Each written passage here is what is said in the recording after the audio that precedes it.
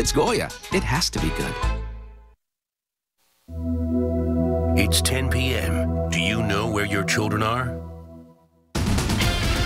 Right now on Fox 5 News at 10.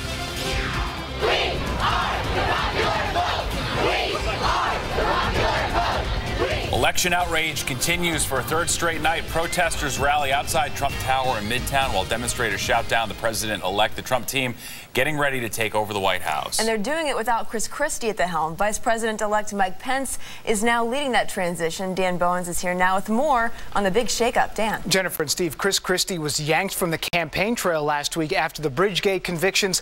Now his role on the Trump transition team is also shrinking. The change comes as the next commander in chief says he is now open to keeping, to keeping key provisions of Obamacare.